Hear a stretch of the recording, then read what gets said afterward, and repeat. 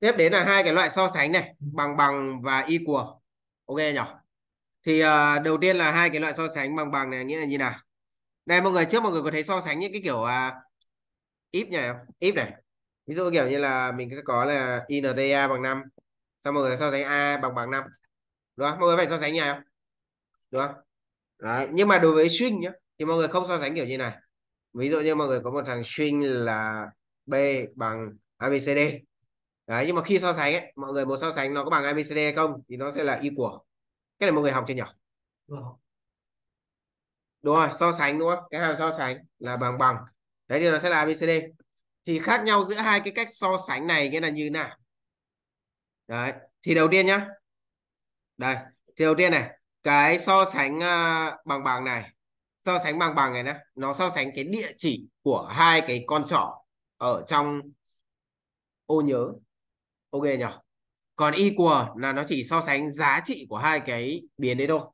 Ví dụ ví dụ như này. Ví dụ như này.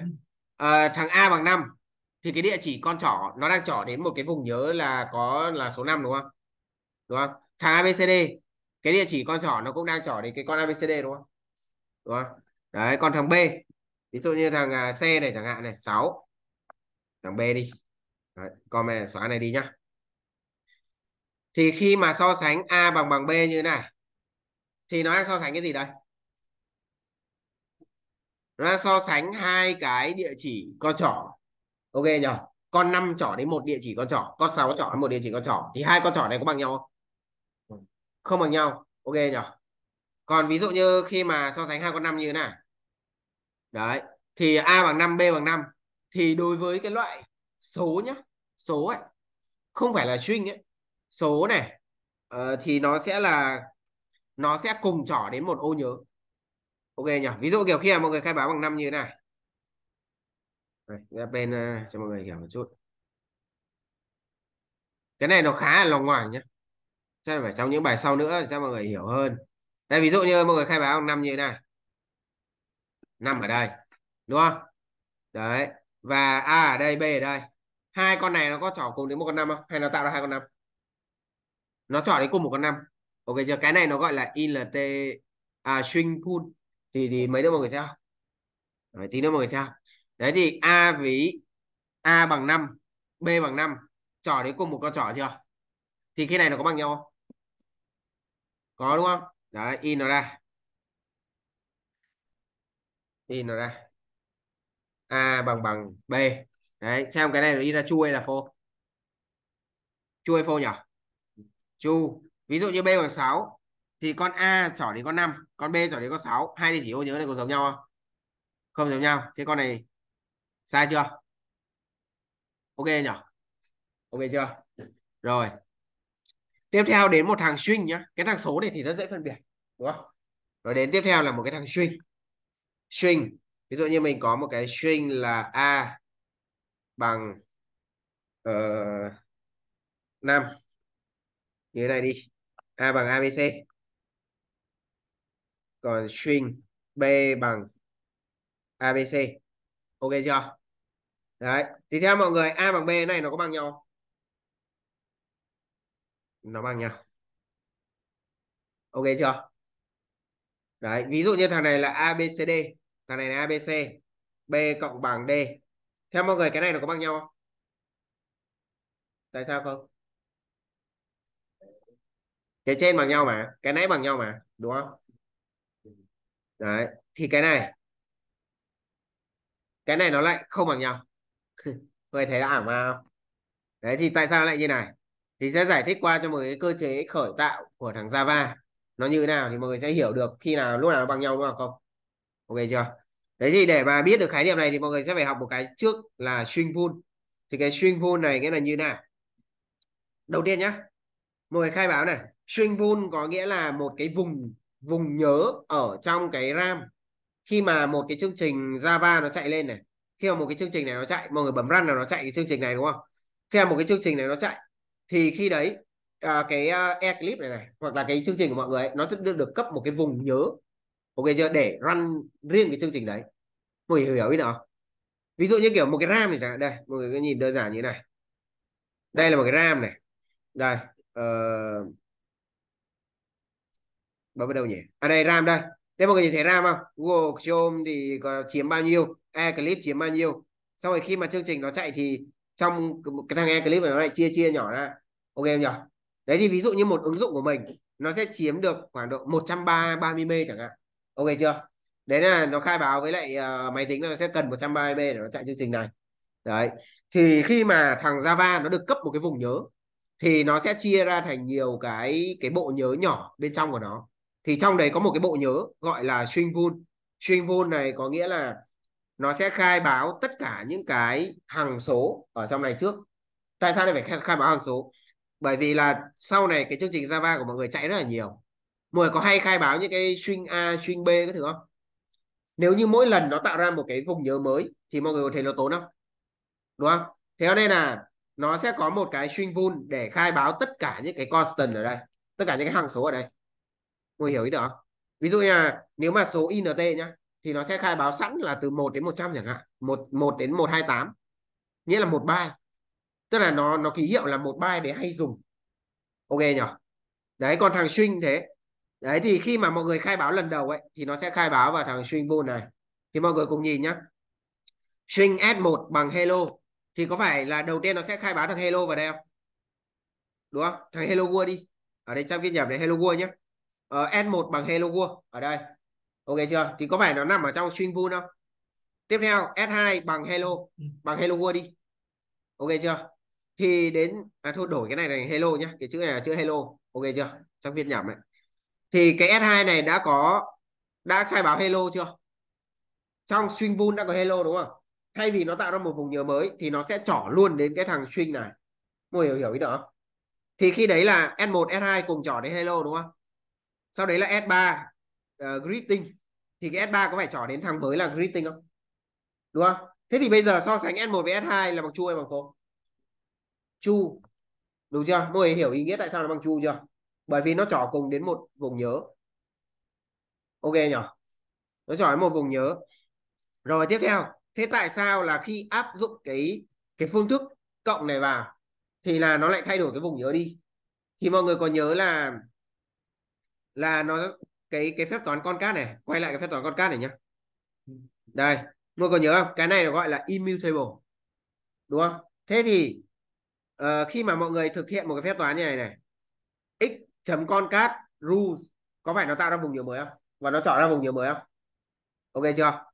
Thế thì khi mà mọi người thực hiện một cái phép toán như thế này s1 bằng hello s2 bằng hello chọn vùng cùng ô nhớ đúng không? Cùng giá trị luôn ok chưa? Thế thì đầu tiên x bằng abc y bằng abcd cái này hai vùng nhớ chưa? Hai vùng nhớ nhá. Rồi tiếp theo x cộng bằng d có tạo ra vùng nhớ mới không? Tạo ra vùng nhớ mới hay là lấy ở string pool mọi người nhớ nhá, cái string pool ấy, nó chỉ áp dụng khi mà mọi người khởi tạo giá trị thôi. Ok chưa? Nghĩa là khi mà mọi người khai báo một cái giá trị ở đây này, khởi tạo một cái biến ấy, thì nếu mà nó có giá trị sẵn thì nó sẽ trỏ sang còn một khi mà mọi người đã thực hiện một cái phương thức hoặc là một cái phép tính gì đấy nó luôn luôn nó tạo ra vùng nhiều mới. Ok nhỉ đối với string nó sẽ là như vậy. Cho nên là chỗ này x cộng bằng d thì nó cũng vẫn là abcd đúng không? Nhưng mà abcd này có giống abcd này không? Hai giá trị mới hoàn toàn. Ok nhỉ. Cho nên là khi mà mọi người so sánh nó sẽ ra false. Ok chưa? Mọi người hiểu hiểu ý tưởng không tức là string pool là để uh, uh, gọi là để uh, tiết kiệm bộ nhớ cho Java ấy. thay vì lúc nào cũng phải new ra một cái vùng nhớ mới đúng không? Thì nó sẽ tìm cách tái sử dụng lại. Ok chưa? Bởi vì là tái sử dụng lại cho nên là một thằng thay đổi thì nó không cho phép là thay đổi cái vùng nhớ gốc của nó. Bởi vì có thể có nhiều thằng đang dùng mà. Cho nên là khi mà thực hiện một phép toán gì đấy thì cái thằng string nó sẽ thay đổi ra một cái vị trí mới. Nó sẽ tạo ra một cái cái vùng nhớ mới. Ok chưa? Và từ đấy thì nó sẽ thay đổi độc lập với nhau. Mọi người hiểu ý đó thì khi mà mọi người so sánh ấy, hai cái thằng string nó bằng nhau ấy, nếu mà mọi người so sánh cái dấu bằng này này, thì chỉ khi chỉ khi là hai cái thằng này nó chưa có thay đổi gì về các cái giá trị khởi tạo cả, thì nó sẽ bằng nhau. Còn một khi mà một thằng nó đã có có cộng trừ nhân chia các kiểu ấy, thì nó sẽ khác nhau. Ok nhỉ? Nào nắm được phần này nhỉ? Ok, thế thì quay lại cái ví dụ ba vừa rồi đây mà quay lại cái ví dụ 3 ở cái thằng à, thằng uh, immutable. Đây mọi người nhìn thấy cái ví dụ này không? Đấy thế thì cái thằng bằng bằng này này mọi người thấy nó sai không? Đấy thì khi mà so sánh y của ấy nó không so sánh không so sánh địa chỉ ô nhớ nhá. Cái bằng bằng thì so sánh địa chỉ ô nhớ nhưng mà cái y của nó chỉ so sánh giá trị thôi. Thì hai thằng ABCD này có cùng địa chỉ ô nhớ không? Không cùng địa chỉ ô nhớ. Ok chưa? Nhưng mà có cùng giá trị không? Giá trị đều là ABCD ok giờ cho nên là có một cái gọi là rất là cơ bản sau này là cứ là số, các thứ, số thì mình sẽ so sánh bằng bằng. Ok nhỉ? Còn nếu mà là chữ thì mình sẽ so sánh y của ok chưa? Một cái đơn giản là như vậy. Mọi người không phải lo đến cái chuyện là đã thực hiện phép toán thay đổi hay chưa, mà mọi người chỉ cần quan tâm là giá trị của nó bằng nhau không thôi. Ok nhỉ? Thì cứ số int thì mọi người so sánh số bằng còn cứ chữ thì mọi người so sánh y của. Ok nhỉ? Cái y của với bằng bằng này sau này người ta cũng đi hỏi nhá. Thì mọi người nhớ là bằng bằng là so sánh địa chỉ ô nhớ. Và đối với string nó sẽ bị thay đổi khi mà thực hiện phép toán. Còn equal là so sánh à, uh, equal là so sánh uh, giá trị thôi. Ok nhỉ? Cái này ok chưa? Và thằng string nó có thể à, so sánh cả bằng bằng lẫn equal nhưng mà thường thì người ta dùng equal để tránh cái sự phức tạp của nó. Được chưa?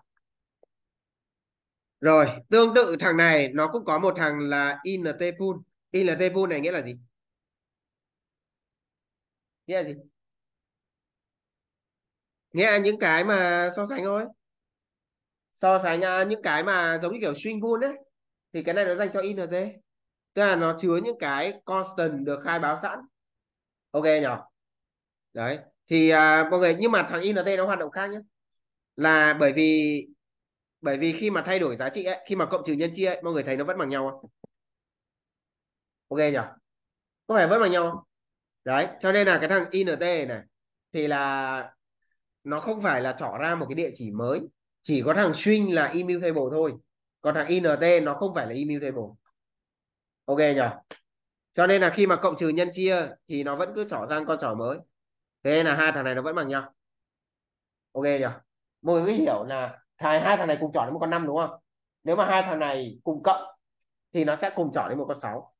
Ôi, nhưng đối với swing thì sẽ khác. Hai thằng đi hai hướng khác hẳn nhau luôn. Thì Java nó lòng hoàng thế.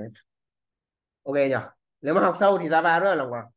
Còn nếu mà bình thường ấy cứ số thì bằng bằng còn chữ thì y của chả bao giờ sai được cả. Nhưng mà đi phỏng vấn thì người ta sẽ hỏi sâu mọi người. Ok nhỉ? Và có một cái này nói thêm cho mọi người nhé có một cái này rất là vi diệu nói thêm cho mọi người. Đây ví dụ nhá. Mọi người thấy là int hai thằng này bằng nhau đúng không? Đây mà để mọi người nhìn nhá. A bằng 127 này.